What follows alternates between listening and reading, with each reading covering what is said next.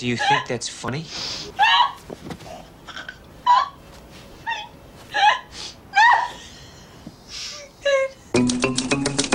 O último filme de Stanley Kubrick, De Olhos Bem Fechados, de 2002, é um romance com pitadas de suspense de deixar agoniado. Kubrick é muito conhecido por passear por vários gêneros e também por ter filmes clássicos que transcendem épocas, como o terror e suspense O Iluminado, que foi baseado em uma obra do brilhante escritor Stephen King, que todos gostam de adaptar a obra do autor ao cinema. E 2001, Uma Odisseia no Espaço, que ele passeia pela ficção científica e cativa muitos fãs desse gênero e o drama de ultraviolência Laranja Mecânica, que sua identidade visual, figurino e simbologia vive até hoje no coração de fãs. Normalmente você irá encontrar um Alex em uma festa fantasia.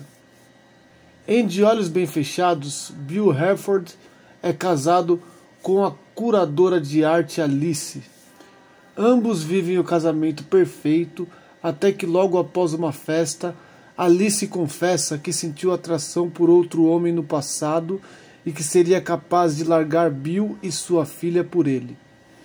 A confissão desnorteia o sujeito que sai pelas ruas de Nova York assombrado com a imagem da mulher nos braços de outro.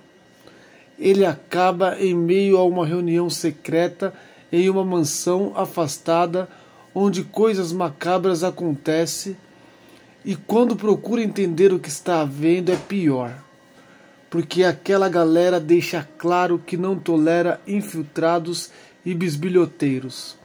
A partir dali, a vida pacata de Bill se torna uma loucura e vivenciar as experiências daquele protagonista não será uma missão fácil para os espectadores.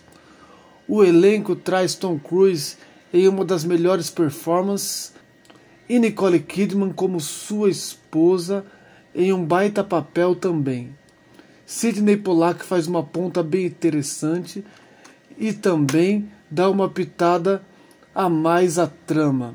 Para os fãs de um grande suspense, vão pirar e ficar muito envolvido com esse filme intrigante e inesquecível. A produção do filme foi uma das mais longas da história recente do cinema durando quase três anos para ser concluída. Embora a história de De Olhos Bem Fechados se passasse em Nova York, todas as filmagens foram realizadas nos estúdios de Pinewood, na Inglaterra, onde a cidade foi reproduzida através de cenários. Para quem não assistiu De Olhos Bem Fechados, fica uma dica de um clássico envolvente do nosso querido Stanley Kubrick.